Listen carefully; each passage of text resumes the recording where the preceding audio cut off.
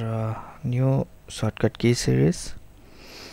So in this video we will see one more shortcut key today. That will help you a lot. So in this video we'll see uh, suppose if you want to see how many drives you have. So how do you go? You go to your my computer directory and you can see.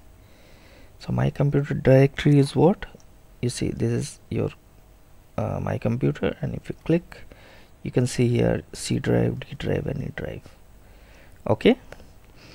So suppose with the help of keyboard how would you go to uh, your my computer directory? So there is a shortcut key called Windows and E. So if I want to show you in picture let's say if I go to this keyboard picture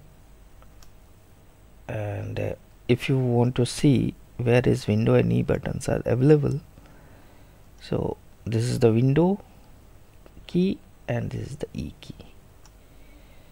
So the moment I press Windows and E button you will get the my computer directory you see. When I press window and E you will get the my computer directory window and E you see.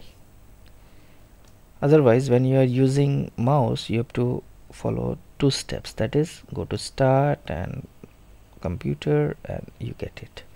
But using shortcut key in one go you will get it. That is window and E you see you'll get. So this is the shortcut key. That is window plus E to open my computer directory. So practice at home and thank you very much. We'll see more shortcut key in the next video. Thank you